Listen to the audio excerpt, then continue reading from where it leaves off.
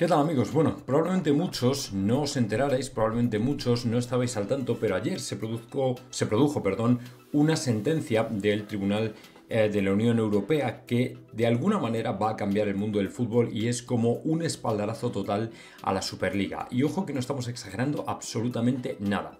Lo que ocurrió, la manera en la que al final dictó sentencia el Tribunal de la Unión Europea, lo ha cambiado todo tan absolutamente a lo bestia que gente como Ceferín, como Infantino, como el propio incluso Tebas, tienen los días contados y sus instituciones y organizaciones también están absolutamente obsoletas. La legislación de la Unión Europea efectivamente reconoce que la regulación, o mejor dicho, los reguladores del mercado del fútbol están completamente pasados de fecha. Además, contienen normas contrarias a la libre circulación, que es como nació la Unión Europea y por la que se permitió efectivamente la Superliga. Dígase un poco hablando de estar por casa, porque no es que permitieran la Superliga, simplemente dijeron que UEFA y FIFA, o sobre todo UEFA, no tiene el monopolio, no tiene por qué hacer pasar a la gente para crear otra competición, hacerla pasar efectivamente por el aro. Ellos no tienen nada que pintar ahí y si hay clubes que quieren montar otra competición, pueden hacerlo en base a la libre circulación de la Unión Europea. Bueno, pues lo que ocurrió ayer con Las Diarra efectivamente le pega un vuelco a absolutamente todo. Para los que no conozcáis el caso de Las Diarra, y por cierto viene muy bien explicado en este artículo de por aquí, en el que efectivamente pues eh, dibuja un panorama que se mira desde prácticamente todos los diferentes ángulos y bueno pues yo os lo voy a compilar de la manera que mejor sepa porque es verdad que tiene muchas aristas, muchos ángulos, que tiene muchas repercusiones y que lógicamente va a poner como digo un punto y aparte en el mundo de la industria del fútbol aunque en mi opinión lo que va a hacer es disparar directamente y acelerar la creación de la Superliga y por supuesto llamar a su fin a UEFA, FIFA para que se adapten. No digo que los vaya a matar, pero eso depende de ellos porque si ellos insisten en continuar con su legislación, con la manera en la que hacen las cosas, están más que muertos. Por cierto, en un fin de semana en el que Sky Sports en Inglaterra está en modo Tebas, advirtiendo absolutamente a todos aquellos aficionados al fútbol que quieran ver fútbol gratis o que se metan en páginas pirata de que van a fundirlos. ¿Veis cómo efectivamente la Superliga tiene que llegar ya y que efectivamente no se puede esperar más? Porque en qué planeta se ha visto que al final una plataforma que en definitiva tiene a los consumidores, a los clientes como los fans del fútbol, los tiene secuestrados y les fuerza a pagar y toma medidas contra ellos de manera absolutamente arbitraria, lógicamente es un mundo en el que no merece la pena, no digo vivir, pero no ver el fútbol, eso está claro. Pues estas plataformas son las que también van a caer con la Superliga precisamente por el hecho de que se pueda ver los partidos en abierto y lógicamente yo estoy deseando precisamente porque se los van a crujir de una manera absolutamente bestial. Pero bueno, vamos con el tema de lo que ocurrió ayer con el nuevo mundo del fútbol, porque obviamente es un caso que merece la pena de estudio, ¿vale? Va a ser un vídeo un tanto, no voy a decir farragoso, pero para que lo entendáis bien hay que ponerlo en contexto. Resulta que un exjugador del Real Madrid, el señor Las Diarra, bueno, pues en su momento se marchó al Lokomotiv de Moscú. Llegó un punto en el que el jugador no quería jugar más en ese club y había fichado por un club de Bélgica, el Charleroi. Lo que ocurrió es que el Lokomotiv lo apartó y él de alguna manera ya había tomado o dado sus pasos no yendo a los entrenamientos. Total, que por unos y por otros al final el club le culpa a él por no presentar a los entrenamientos y le da de baja. Y él, por el contrario, decía que le apartaron por bajo rendimiento, pero él ya había firmado o había hecho todo lo posible por salir a este club de Bélgica. Es decir, él ya estaba dando sus pasos para poder salir y marcharse y fichar por otro club. En definitiva, él no quería seguir en Moscú, pero el problema es que su contrato le obligaba. Entonces, puesto y basándonos en el derecho del libre ejercicio y de la libre circulación de trabajadores por la Unión Europea, por países de los Estados miembros, evidentemente él lo que sí podía hacer o tenía todo el derecho según la corte de ayer era a marcharse y que no recibiera el Lokomotiv ningún tipo de indemnización. Es decir, cuando ocurrió todo esto al final, un, él lo denunció en Bélgica, denunció al Lokomotiv y en Bélgica le dieron la razón al jugador. De manera que el Lokomotiv que aspiraba a que el jugador pagara una indemnización y de hecho la FIFA le obligó al jugador a pagar una indemnización, el jugador denunció en Bélgica y en Bélgica dijeron no, él no tiene que pagar ninguna indemnización porque en base al Tratado de la Unión Europea la libre circulación de trabajadores le permite poder desarrollar su carrera profesional en otro club si ese es su deseo. Es decir, pone por encima el derecho, lógicamente, de los trabajadores a buscar acomodo y trabajo en cualquier otro país de la Unión o cualquier otro país de un Estado miembro sin tener que compensar al pagador, en este caso al club. Entonces, ¿qué ocurre? Que el Lokomotiv se quedó como diciendo, hostia, pues la hemos perdido. Y al final, efectivamente, ese derecho, después de muchos años, porque esto fue 2014-2015, ha terminado convirtiéndose en una regla de oro similar a la del caso Bosman. ¿Por qué? Pues porque en definitiva marca un antes y un después en el mundo del fútbol. La primera repercusión, no tengo que deciros cuál es, pues que efectivamente ahora los clubes se van a andar con mucha maña a la hora efectivamente de intentar meter a los jugadores contratos que convierten a los clubes en cárceles de oro. Y ya sabéis cuando digo cárceles de oro, ¿a quién me refiero? Efectivamente, al PSG. Es decir, todo lo que pasó con Mbappé no hubiese ocurrido si Mbappé en 2021, no 2022, 2021, cuando él quiso salir al Real Madrid y quiso que el PSG negociara con el Real Madrid, si él se hubiera cerrado en banda y hubiera denunciado, podría haber venido porque la legislación hubiera efectivamente eh, sentenciado a favor suyo, porque él podría haber venido a España a jugar si así lo hubiera deseado y querido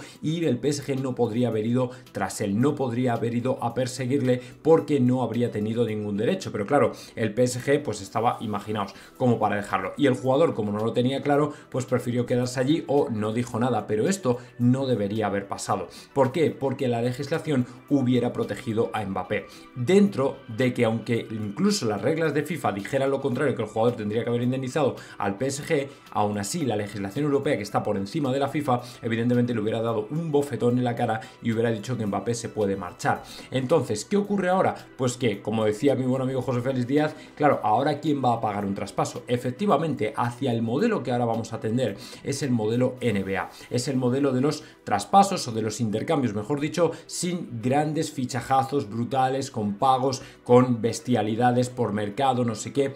Eso tiene pinta de que tiene los días contados y dentro de la Superliga creo que al final va a ser así. Ese nuevo modelo de mercado de fichajes es completamente desconocido, pero es hacia lo que vamos a atender, porque lógicamente también es verdad que el club no se va a arriesgar a fichar a un jugador a crearle condiciones espectaculares si a lo mejor luego el jugador le hace una mejor oferta y los deja tirados. Y claro, el Real Madrid o el City o el club que sea ha puesto un montón de pasta o le ha invertido en él o salario lo que sea y luego aparece otro que le ofrece mejor, más dinero y se pira y al club lo deja tirado. Y evidentemente esto desde el punto de vista del club es una putada grande. Entonces, obviamente para la Superliga está genial porque es un poco el modelo al que se tiende, pero claro, ahora los clubes, los clubes tienen que tener mucho cuidado porque por ejemplo el caso de Vinicius Jr., ¿vale? El caso de Vini con Arabia, si efectivamente Arabia le puede poner un sueldo, vamos a decir que no es Arabia porque Arabia no es de la Unión Europea, pero un club que efectivamente le diga a Vini, oye, te ponemos de sueldo, vamos a decir un PSG, por ejemplo, 20, 25, 30 millones de sueldo y te vienes al PSG,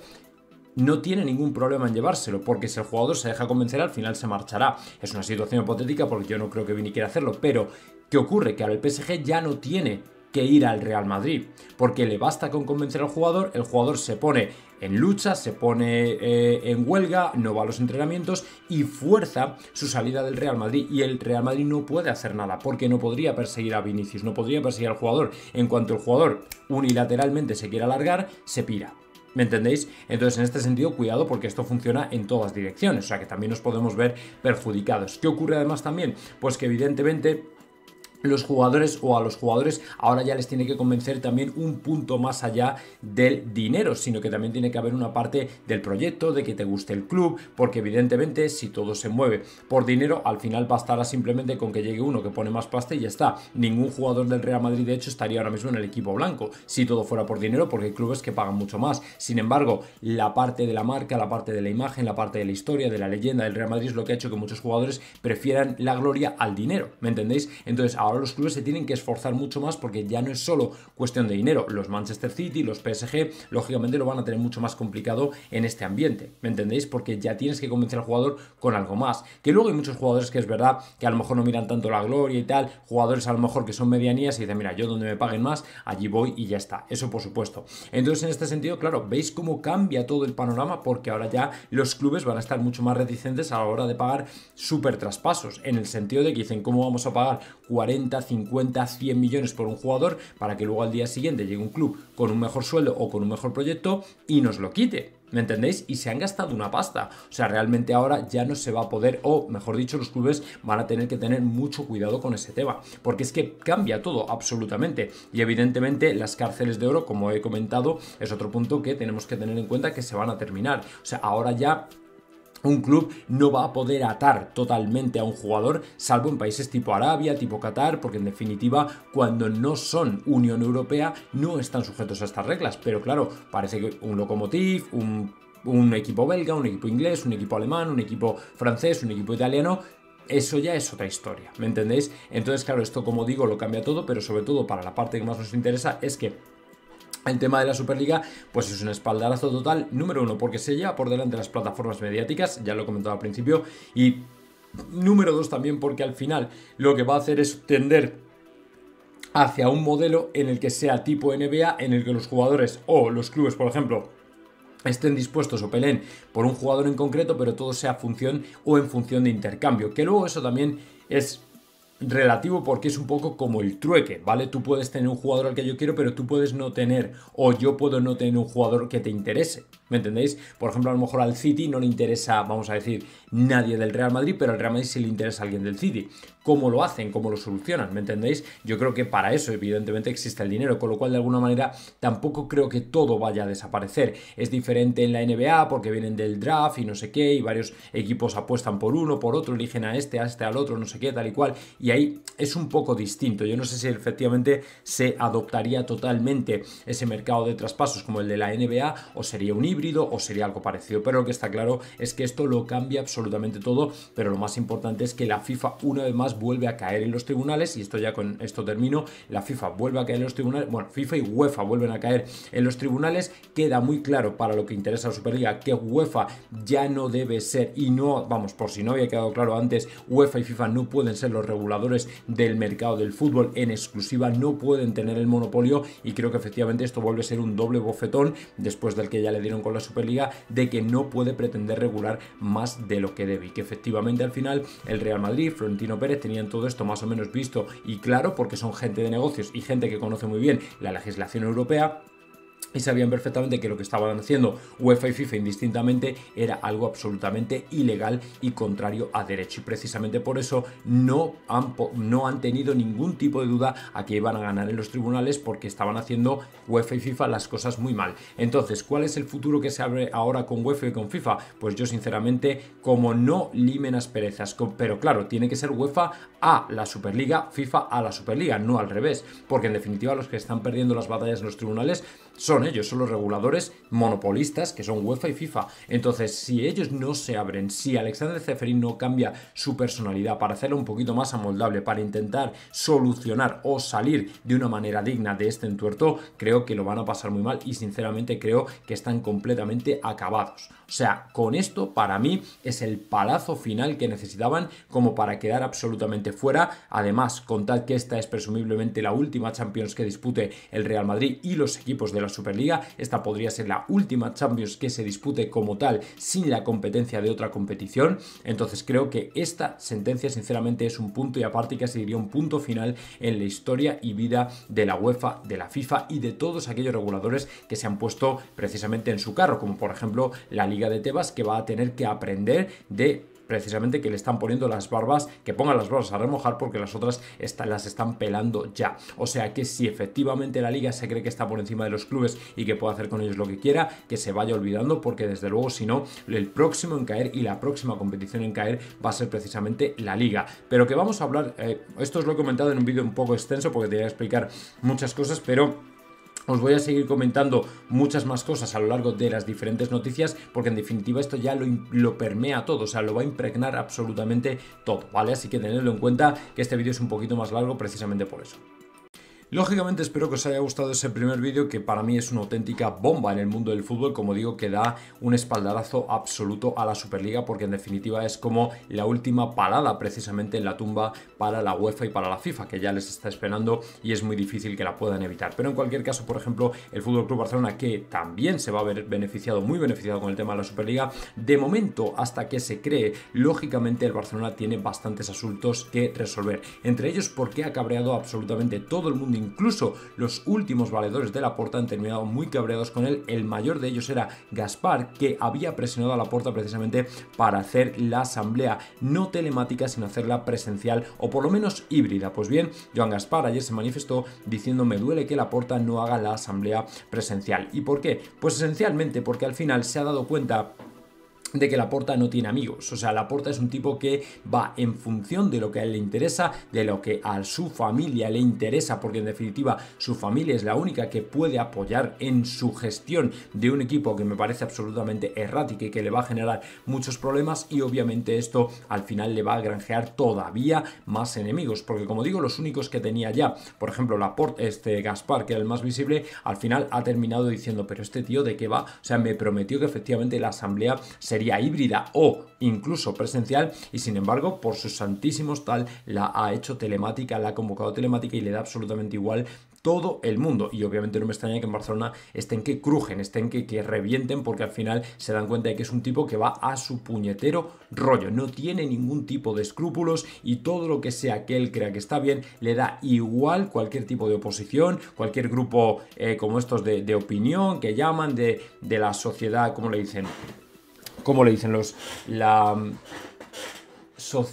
¿cómo le dicen? los grupos sociales, no sé, no sé cómo lo llaman o lo denominan, que es muy de como de la sociedad civil catalana o no sé qué, bueno, historias de estas, ¿no? O sea, le da absolutamente igual todo. Él va en función de lo que él cree que es mejor para él o que le puede venir mejor. ¿Por qué? Porque en definitiva la asamblea era un sitio donde le podían sacar lógicamente los colores, donde le podían poner la cara colorada y decirle, pero tú, ¿cómo te atreves a presentarte aquí con 91 millones de pérdidas? Encima, encima intentando, intentando colarnos que ha sido un auténtico éxito financiero, cuando son casi 100 millones de pérdidas. Y encima porque el auditor, para no pillarse los dedos, te ha obligado y te ha forzado a interpretar como una pérdida los impagos, que sí, que están en el juzgado, pero que no dejan de ser impagos. Pero es que todavía hay algo peor y que precisamente es lo que me empuja a hablar de la siguiente noticia, que es ni más ni menos que mientras esas pérdidas no se recuperen, mientras no haya alguien que ponga la pasta, el Barcelona va a tener que seguir provisionando, lo que quiere decir que para los ejercicios siguientes el Barcelona va a tener que seguir contando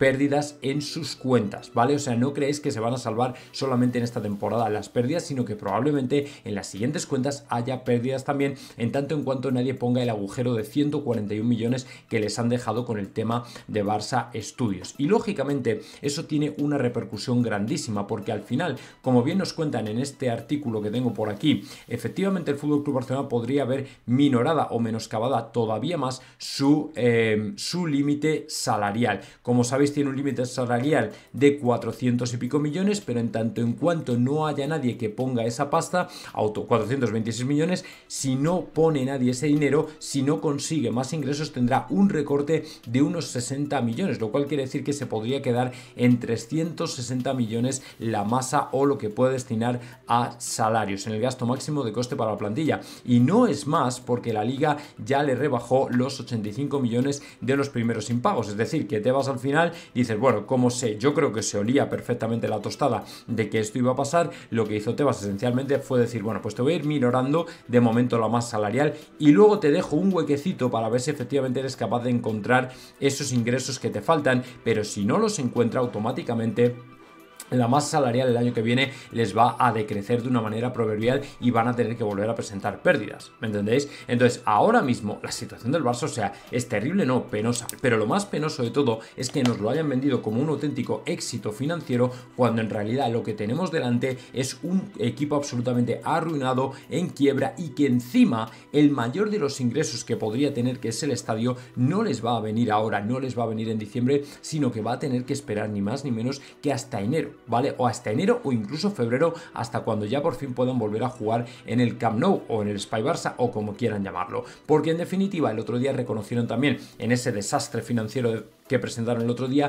tuvieron que reconocer que tendrá que ser el segundo semestre de la temporada, le llamaron cuando volvieran precisamente al estadio. Lógicamente a mí no me engañan, pero a muchos de sus, bueno, fanáticos y seguidores, pues a lo mejor sí, y esto les vale y no hay problema, pero es que cada vez que el Barcelona no juega en el Camp Nou son pérdidas y pérdidas y pérdidas millonarias. Como he dicho, siempre para que nadie me tache de poco objetivo, lo que sea, el Barcelona es una, un, es un transatlántico que genera un montón de pasta vale más de mil millones al año y lo lleva haciendo mucho tiempo por delante del Real Madrid. Completamente cierto, pero el problema es que tienen un agujero tan grande de deuda, de pérdida de gastos, que obviamente ni siquiera facturando tanto llegan a taparlo y aún así dan pérdidas. O sea, imaginaos cómo está la situación y cómo está el asunto. Mucha gente no lo entiende, pero el tema del estadio cada día que pasa es un puñetazo en el hígado de las finanzas del Fútbol Club Barcelona que cada vez más va a peor. Entonces, como no se enteren de la película, como no se pongan al tiro, como dicen en México, como no se pongan al tanto un poco de la situación, os digo que el Fútbol Club Barcelona va a terminar muy mal por la directiva que tiene. Y esto además es que ya lo saben la mayoría de los grupos de oposición que ahora ya lo que tienen que hacer, en mi opinión, es intentar convocar una moción de censura porque no les queda otra. O sea, yo creo que el tema de la asamblea telemática debería haber sido ya la gota que colmara el vaso como para decir, pero vosotros de qué estáis yendo, cacho de listos. O sea, os estáis apoderando de un club, estáis haciendo lo que os da la gana, nadie no fiscaliza a nadie lo que hacéis y encima pretendéis que esto ha sido un éxito rotundo, pero si tenemos unas pérdidas de casi 100 millones de euros, obviamente la oposición, ¿qué le puede quedar? Pues lógicamente presentarse a una moción de censura, poner un candidato, convocar elecciones y automáticamente, si efectivamente convencen a la masa social, ganarlas y empezar de cero otra vez. O sea que la situación que tienen no es ninguna broma. Lo que pasa es que como al final van tirando, van tirando, lo único que vi más parecido, un poco de oposición fuerte, fue el tema de la cuestión de confianza, pero no se ha vuelto a ver nada. Segura, eh, la porta creo que tenía 10 días, esto creo que fue el lunes, yo creo que le quedan, me parece que 3, 4 días más para responder. Si no responde, van a tener una movida muy gorda. O sea, si no responde, van a tener un movidón muy gordo. Pero como ellos al final no se dan cuenta de que lo que estamos viendo es un auténtico espectáculo circense, pues nada, les sigue funcionando, siguen tirando para adelante y siguen con la patadera huida hacia adelante, pero que esto al final les va a pillar antes o después, ya os lo digo yo, que al Barcelona ahora mismo lo único que ya le puede salvar es la Superliga, si no, no lo salva nadie. Tiene un agujero, tiene un agujero que es intapable, intapable, ¿me entendéis? Así que bueno, ellos sabrán, ahora el tema que ha pasado, pues lo que os he comentado en el vídeo de la, de sentencia, esta a lo mejor les puede beneficiar para subirse completamente ya sin ningún tipo de ambaje al cargo de la Superliga, porque saben perfectamente que es el único, lo único de hecho que puede salvarles. Si no, vamos, esta gente está fuera de juego ya, y Florentino lo sabe y sabe perfectamente que al Barcelona lo único que le puede salvar ahora mismo ya es esencialmente el tema de la Superliga. Si no hay Superliga, esta gente puede decir adiós porque están absolutamente tocados tocado, iba a decir, han tocado fondo, no, están ya completamente sentenciados, perdón, es lo que quería decir, así que ellos sabrán lo que hacen, desde luego. En un brillante artículo, Tomás González Martín ayer nos dejó entender que, aunque el artículo sea brillante, la noticia puede ser una auténtica bueno, iba a decir bazofia, no bazofia por el artículo ni por la noticia, sino por el mensaje, ¿vale? Y es que por lo visto en la FIFA están sorprendidos por la falta de apoyo del gobierno al Bernabéu como sede de la final del Mundial 2030. Almeida apoya ante la FIFA la candidatura del Bernabéu como sede de la final del Mundial 2030 frente al silencio del gobierno español. Bueno, como veis, eh, aquí comienza Tomás un poco con sus chascarrillos. Pedro Sánchez nunca ha defendido ante la FIFA que el Bernabéu sea la sede de la final del Mundial. La FIFA ha comentado en los foros internos que es la primera vez en la historia que presidente del gobierno no defiende su mejor candidatura para una final de la Copa del Mundo.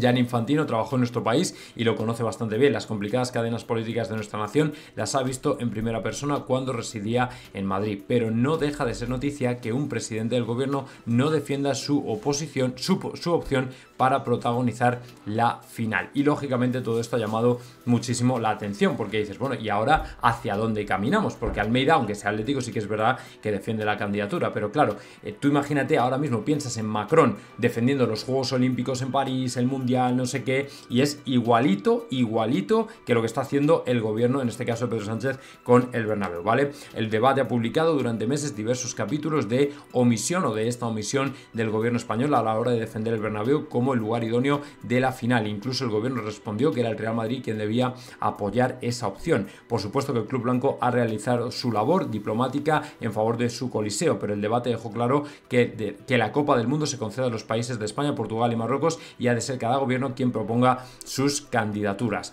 Entonces, bueno, pues a partir de ahí, las decisiones en diciembre, todo este tipo de cosas. El asunto y la clave de todo es que en definitiva nos han dejado solos, con el culo al aire. Que el Real Madrid, como veis, ya no es solo un club, que tenga que preocuparse y además ocuparse de asuntos en los que a lo mejor las instituciones deberían ayudarnos. No, es que el Real Madrid al final se va a tener que convertir en un Estado en sí mismo y tener a su propio, eh, no sé, representante de relaciones diplomáticas o políticas, porque en definitiva te das cuenta cuenta que quien te tiene que apoyar no te está apoyando, está pasando de ti, le importa una mierda si viene al Bernabéu o si no viene al Bernabéu, porque en definitiva el gobierno ha mostrado cero interés en que en general yo de verdad que no he visto mucho prodigarse al, gobierno, a este actual gobierno, en el tema del Mundial, ni en defenderlo, ni en propagarlo, ni nada parecido. Pero que encima ya sea la final el Bernabéu, con la inquina, el odio, la rabia que despierta el Real Madrid, Florentino, etcétera, etcétera, es que me llama mucho la atención encima que siquiera den un paso para ayudar a que el Bernabéu sea precisamente sede de la final del Mundial, cuando lo que están haciendo por el contrario es intentar socavar los terrenos del Bernabéu, socavar literal y no literalmente, ¿vale? Los terrenos o los cimientos del Bernabéu, del nuevo Bernabéu, intentar hundirlo, intentar hundir el proyecto, intentar hundir al equipo, intentar hundir a Florentino, es lo único que vemos. El otro día filtraron un vídeo, me parece que fue en la Asamblea de Madrid, donde se ve las ganas que nos tienen, o sea, es una cosa tremenda. Lo que os he comentado, yo al principio empaticé lógicamente con los vecinos por el tema del ruido, evidentemente es algo que nos tiene que hacer ver las cosas en perspectiva, pero una vez que he visto que van a por los kioscos, a por el fútbol, a por los, la celebración de los goles, a por la megafonía, van a por todo. Al final te das cuenta de que esto es una plataforma que ha nacido con el único fin de destruir al Real Madrid. El señor juez que apareció, o, ex, o emérito, o ex juez, o lo que fuera, del Supremo que apareció en televisión española, no por casualidad, que es del Atlético, que es vecino del Bernabéu, que encima le dice al presentador, esta noticia te va a gustar a ti, diciendo que él ya se había calzado al Villarreal por un tema de delito medioambiental. O sea, tú empiezas a hilar puntos y dices, oye, esto no es una protesta espontánea de los vecinos, ¿vale? Yo conozco un montón de protestas espontáneas de los vecinos cuando ponen una planta nuclear o una planta de químicos al lado de su vecindario, los vecinos salen a protestar, se mueven, hay marchas, no sé qué, tal y cual, o sea, mil millones de cosas, ¿vale? Eh, y sin embargo, esto no lo hemos visto, o sea, yo no veo a gente protestando por el Bernabéu, no, esto se lleva en redes sociales y automáticamente se va al juzgado y además se da caña con absolutamente todo, se denuncia absolutamente todo y al final dices tú, pero qué espontaneidad, espontaneidad es esta, cuando además tenemos vecinos ilustres del Atlético de Madrid precisamente en ese barrio metidos, que no digo que sean todos del Atlético de Madrid, pero como que te hace sospechar un tanto y además bastante. Así que yo sinceramente de verdad me parece un tanto vergonzoso lo que está ocurriendo, me parece vergonzoso que efectivamente el gobierno no apoye la candidatura del Real Madrid para poner el Bernabéu como sede de la final, el estadio más moderno de nuestro país, me parecería una vergüenza que al final no se consiguiera y sobre todo por la dejación de funciones de un gobierno que sinceramente no sé a qué aspira, ya solo falta que apoyen la candidatura de Marruecos, ya fliparía en colores, pero bueno, como este gobierno es tan tan tan lúcido para determinadas cosas, sinceramente, bueno, pues ahí está la cosa Ahora ya por lo menos ya sepáis, ya tenéis la información, cada uno que saque sus propias conclusiones.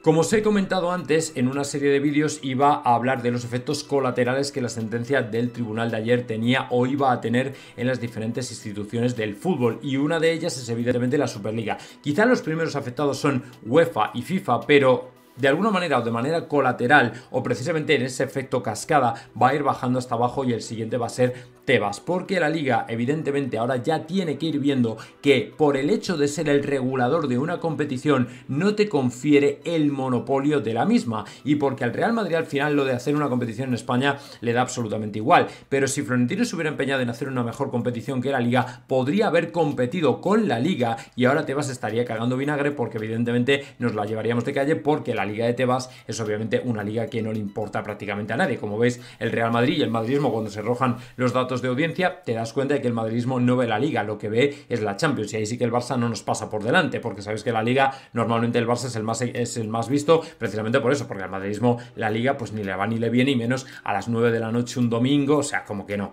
Entonces, ¿Qué ocurre? Que al final Tebas pues está ahora mismo como diciendo, hostia, yo que me he metido, yo que dirijo, yo que manejo, yo que muevo los hilos del cotarro en la liga, claro, a mí este tipo de cosas obviamente no me vienen bien. Quizá no le perjudica tanto como la Superliga, porque la Superliga para mí es como enterrarlo vivo directamente, no a él, sino a su, a su competición, pero está claro que al final dice, pues que seguramente por algún lado me salpica, por algún lado me va a salpicar. Entonces seguramente ya está el hombre en pánico porque al final está viendo que la Superliga es inevitable, que la sentencia de ayer es otro espaldarazo, y que cuando la Superliga esté en funcionamiento, la liga suya propia se va a quedar, pues eso, para vestir santos, porque cuando la peña vea la pasta en circulación y la pasta en juego, o sea, se va a acabar la liga y se van a acabar las historias que tiene este montadas y tantos otros. O sea que su cortijo probablemente se va a venir abajo y él lo sabe perfectamente. Lo que pasa es que, aunque sea consciente de ello, al final, bueno, siempre lo dice, dice que cuando está Florentino nunca te puedes fiar. Pues efectivamente, o sea que no se fíe porque desde luego al final le va a pillar el tren y seguro. Por cierto, además de los conflictos, ¿vale? Con el tema de la UEFA, de la FIFA y tal y cual, bueno, pues ahora se viene otro o está a punto de suceder otro que sucederá pronto, del cual oiremos seguramente en breve y que es ni más ni menos que el City y el futuro de Haaland. Y también el de Guardiola, del que luego os voy a comentar una cosita. Pero de momento vamos al de Haaland porque por lo visto el jugador ya ahora que está a punto de renovar su contrato ha pedido o exigido incluir una cláusula de 100 millones de libras en su contrato. ¿Por qué? O una condición o una como queráis llamarlo, ¿vale? ¿Por qué? Pues hombre, esencialmente porque él sabe perfectamente que si algún día quiere venir al Real Madrid, sobre todo si efectivamente al final resulta que hay una condena brutal para el City, entonces es cuando será su oportunidad de salir al Real Madrid. Pero en cualquier caso, si no ocurriera, por lo menos que el Real Madrid tenga una referencia a nivel de cuánto dinero pagar, si efectivamente, si efectivamente el jugador, por lo visto, el, jugador y el Real Madrid se encuentran en un punto de decir, venga, vamos ahora a encontrarnos que te lo mereces. Porque yo creo que evidentemente un 9 como Erling Haaland es un jugador que tiene que estar con nosotros y es un jugador que tiene que haber venido precisamente para triunfar en el Real Madrid. Creo que el City es un grandísimo paso intermedio en la carrera del jugador, pero no debería ser el definitivo. Y si ha hecho este movimiento es porque, en mi opinión, él sigue teniendo la cabeza en que al final va a terminar algún día en el Real Madrid. Y ojalá lo sea, porque sinceramente, después de ver el equipo que tenemos, con el Real Madrid preparando un centro del campo mejor para el año que viene, porque este año ya es lo que hay, honestamente creo que el hecho de tener un 9 finalizador es exactamente lo que necesitamos. Un 9 finalizador de experiencia no debemos sobrecargar a Hendrik. Tampoco debemos ver a Haaland como una amenaza para Hendrik porque son generaciones diferentes. O sea, cuando Haaland tenga 29 años, ¿vale? Hendrik tendrá ¿cuántos? 23, o sea, le queda toda la carrera por delante, o sea, que no deberían ser incompatibles en absoluto. Así que yo sinceramente animaría al fichaje de Haaland, ojalá que así sea, y ahora que él ha hecho este movimiento, creo sinceramente que el Madrid debería tenerlo muy en cuenta. Y bueno, ahora que hemos comentado que la Liga de Tebas está completamente finiquitada, el adiós a la Champions es prácticamente irremediable e inevitable. Esta sentencia, repito, es un espaldarazo total a la Superliga y es un apoyo total al proyecto de Florentino para crear una competición alternativa que esté fuera de los reguladores tradicionales como UEFA o FIFA. Entonces, ahora mismo precisamente lo que tenemos por eso es que el adiós a la Champions ya es irremediable, que encima lo vamos a hacer con un formato de competición que es una auténtica basura, es una auténtica bazofia no le gusta a nadie, la gente se aburre, no lo entiende muy bien, solo se ven palizas de unos equipos a otros, aficionados absolutamente fuera de control, o sea, es un auténtico desastre, lo que hemos visto es un auténtico desastre. Entonces, lo único bueno que yo creo que tiene es que ya tienes partidos en enero, o sea, que no tienes que esperar desde diciembre prácticamente hasta febrero, pero en cualquier caso, yo sinceramente creo que no ha conseguido su propósito, que por supuesto no va a subir audiencias, y aunque ahora tengamos tres o cuatro partidos más o menos buenos, esto es lo que vamos a tener en la Superliga constantemente, encima con menos partidos, que a los jugadores les viene bien para no reventarse. Yo creo que eso debería decirnos algo. Entonces ahora mismo no hay ninguna duda de que para mí es el adiós definitivo a la Champions que no debéis temer, tener ningún temor a decir que esta es la última Champions que el Real Madrid va a disputar, que probablemente es la última Champions que se va a celebrar de esta forma porque el formato va a ser una auténtica castaña y no va a triunfar en absoluto y cuando el año que viene se le vayan los mejores clubes, ya os digo yo que como digo, el adiós a la Champions está servido, o sea que nadie espere que el Real Madrid continúe en esta competición cuando de hecho tenemos una mejora a las puertas de la que somos auténticos promotores y que vamos a atraer hacia nosotros a los mejores clubes y a todos aquellos que quieran y estén interesados porque saben que la función de la ganancia, es decir, la capacidad de la ganancia para atraer a tu club es una parte importante del éxito, por no decir sinceramente la mayor, porque no olvidemos que el fútbol en definitiva es un negocio, los clubes lo saben bien, están todos quebrados, todos reventados y evidentemente el poder participar precisamente en esta competición les va a dar un balón de oxígeno muy muy grande, así que que se preparen en UEFA, FIFA, que esto se acabó. Y una vez más, el Real Madrid entrará en la historia, porque a resultas de esta sentencia histórica que se promulgó ayer, ha sido un exjugador del Real Madrid el que la ha llevado a cabo, el que la ha iniciado y además, déjame que os diga, el que tuvo el valor de llegar hasta el final. Ese señor es Las Diarra, lógicamente de muy buen recuerdo dentro de las filas madridistas, un luchador, un peleador, un auténtico working class dentro del fútbol romántico y glamuroso que supo hacer y entender a la gente que esa posición en la que él jugaba era ultra necesaria, pero que más allá de diferencias finalmente terminó marchándose, pero en cualquier caso con su historia entre el Lokomotiv y el Charleroi, al final lo que ha ocurrido es que se ha convertido en historia viva del fútbol porque le ha dado un o ha ayudado, por lo menos ha contribuido a este espaldarazo definitivo que se ha dado a la Superliga con esa decisión unánime del Tribunal de la Unión Europea, donde ahora efectivamente todo queda a expensas de que el nuevo mercado de fichajes quede configurado de forma que al final tendamos hacia un estilo NBA de o bien intercambio de jugadores o bien un, drafting, o sea, un draft o como queráis llamarlo, de reclutar jugadores desde un punto, desde un punto neutral, es decir, que varios equipos puedan optar a un jugador,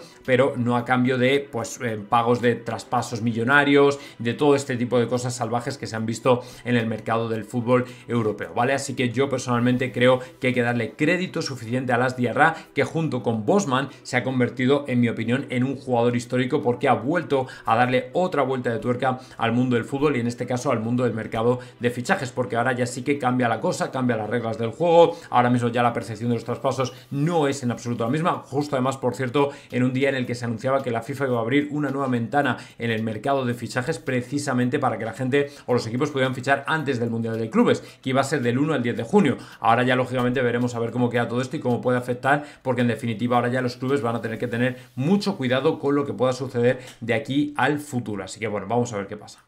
Y por cierto, tenemos que volver a toda la basurilla de la que ocurrió el otro día en el derby, porque efectivamente ha localizado la policía a los encapuchados del Atlético de Madrid que se vanagloriaban de ir encapuchados, de no mostrar la cara. Bueno, pues finalmente han sido identificados. El asunto es que han comentado que por lo visto han sido los eh, guardas de seguridad en cooperación con la policía. Mira, yo os digo que si hubiera dependido del Atlético de Madrid, ¿vale? No se hubiera localizado a nadie. Esto es labor, estoy seguro que de los guardas de seguridad en parte, pero de la Policía Nacional absolutamente al 100%.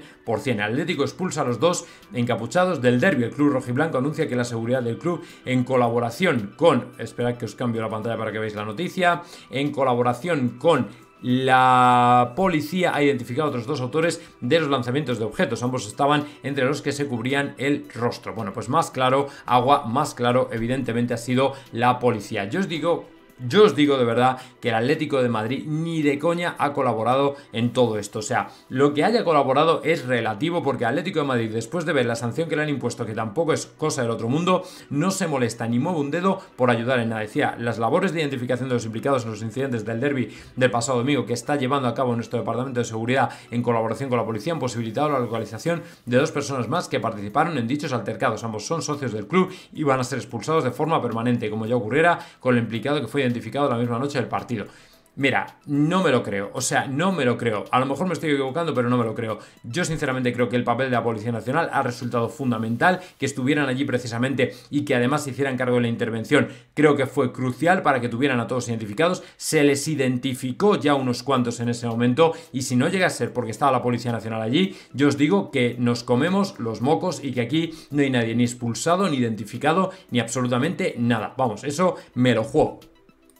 Así que muchos me vais a preguntar, yo lo sé, que cómo queda el mercado de fichajes, ¿vale? A partir de ahora con esta nueva, bueno, esta nueva sentencia. Bueno, pues en definitiva, lo que os he comentado antes es que se acabaron las cárceles de oro. Ahora, ahora ya sí que ya no hay excusa para que un jugador no, o para que digamos, no, es que se ha quedado encerrado en una cárcel de oro porque claro, el club no le va a soltar o el club le va a mandar a las gradas, no le va a dejar jugar. Eso ya se acabó. Como un jugador diga, me piro de este club, va a hacer lo que sea por forzar su salida, puede rescindir el contrato contrato unilateralmente y si entiende que otro club le está poniendo mejores condiciones para desarrollar su vida laboral, se pira. O sea, no va a haber nada que el club pueda hacer y no le va a poder exigir ni indemnización, ni denunciarlo, ni nada parecido. Que luego a lo mejor los clubes se buscan alguna otra triquiñuela, no digo que no, pero los PSG, los Manchester City, los Newcastle y compañía no van a poder, o no van a tener, mejor dicho, las manos completamente libres para hacer lo que les dé la gana, a pesar de que la FIFA y la UEFA han sido los que les han garantizado un patio de recreo a su medida, que es una auténtica vergüenza. Y por eso precisamente este Tribunal de la Unión Europea creo que ha regulado una más recuperando el espíritu de libre circulación con el que nació la Unión Europea, que es hacia donde deberíamos tender, a ese espíritu que inicialmente me parece que fue a través, no quiero decir mal, del pacto del acero, me parece que fue el pacto del acero de 1900 el Tratado de Roma, Pacto del Acero, algo así, de 1957, me bailan un poco los nombres, pero ese es el espíritu de la Unión Europea que deberíamos recuperar, el de la libre circulación, libre eh, circulación de trabajadores, de mercancías, de ideas, de personas, de todo, ¿vale? Libre circulación de todo. Es a lo que deberíamos tender y no exactamente a lo que se ha atendido, que es a lo contrario, que por culpa de los últimos gobiernos en Francia principalmente, también en Alemania se ha atendido a un Estado de la Unión absolutamente socialdemocratizado, absolutamente intervenido, que no tiene absolutamente nada que ver con lo que nació precisamente en aquellos años 50 del siglo pasado. Así que por favor, eh, así quedará el mercado de fichajes como tiene que ser, los jugadores con muchísima más preeminencia y por supuesto los clubes tendiendo a, a pagar cada vez menos por traspasos. Así que bueno, veremos a ver qué pasa.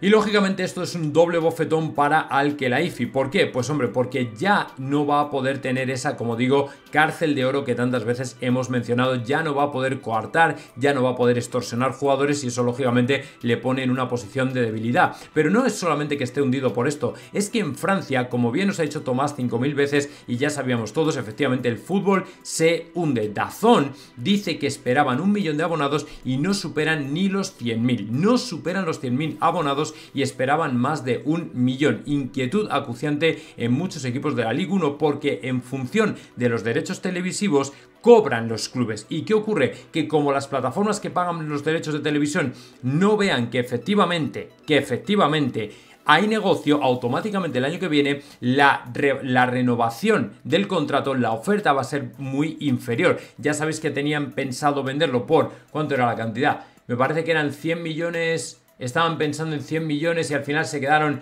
en... ¿Cuántos? Ay, no me acuerdo, me bailan las cifras. Pero bueno, que se quedó en una cantidad ridícula ¿vale? Muy inferior a lo que tenían pensado vender los derechos de televisión, así que seguramente el año que viene sea incluso menos. O sea, lo que van a ofrecer por la Superliga, eh, perdón, por la Liga Francesa es ridículo. Puede ser a lo mejor, no lo sé, vamos a hablar de a lo mejor un millón de euros y vas que te matas, pero a ver cómo repartes tú un millón o cinco millones de euros entre 20 o 20 o 40 clubes, no sé si incluye primera y segunda división, no lo sé. La verdad es que las cifras me bailan ahora, pero lo que está claro es que es una auténtica catástrofe precisamente para un fútbol francés que está herido de muerte, que no va a salir adelante y que una vez que perdió Mbappé, se acabó todo, porque en definitiva era lo único atractivo de esa liga, era Kylian Mbappé, y ya no está, así que ni Luis Enrique, ni el PSG, ni absolutamente nadie, a no ser que el PSG lo hiciera muy muy bien en la Champions y ganara un poco de repercusión internacional, o sea, esta gente no es absolutamente nadie, no es absolutamente nadie, ya os digo yo que se van a venir abajo como un castillo de naipes y seguramente Qatar diga, pero ¿qué hacemos invirtiendo pasta o perdiendo pasta en todo esto? Vámonos de aquí.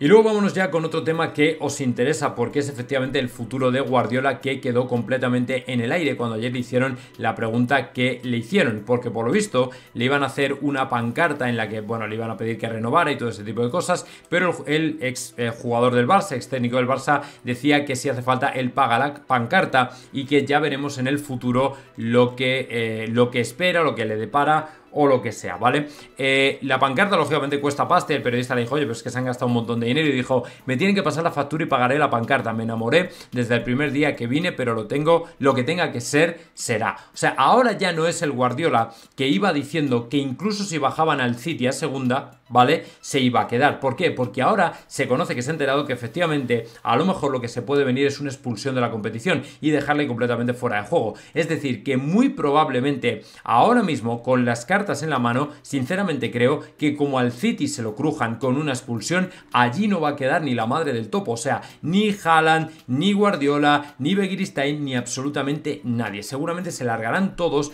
porque en definitiva les habrán arruinado la carrera futbolística. Porque al final habrá han pertenecido. Lo primero, les habrá manchado el haber pertenecido a ese club, les habrá manchado completamente su historia futbolística a jugadores como Kylie Walker, De Bruyne, eh, Phil Foden, Haaland, eh, Julián Álvarez, por supuesto a Guardiola también, sino que además les dejan dos años fuera de la competición. ¿Cómo te comes tú eso? Pues prácticamente de ninguna manera. O sea, es que yo creo que va a ser insostenible. Entonces, como les caiga eso, Guardiola, yo creo que porque alguien le ha tenido que decir algo, ha dicho, bueno, mejor me voy a callar porque como no sé lo que voy a hacer, evidentemente es mejor que no diga absolutamente nada. Y en definitiva, si al final quiere largarse y quiere decir, mira, yo voy a emprender otra carrera en otro sitio o lo que sea, pues allá él. Evidentemente esto que ha pasado con el Manchester City creo que será un borrón probablemente incluso su carrera mayor si les condenan, ¿eh? Mayor incluso, mayor incluso que lo de Negreira con el Barça, porque esto está claro que se han inflado con dinero que no debían, han violado todo tipo de reglas, o sea que es probablemente incluso peor.